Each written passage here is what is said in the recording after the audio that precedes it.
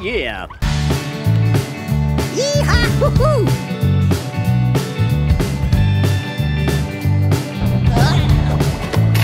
Get ready for lunch, fish heads! There you go.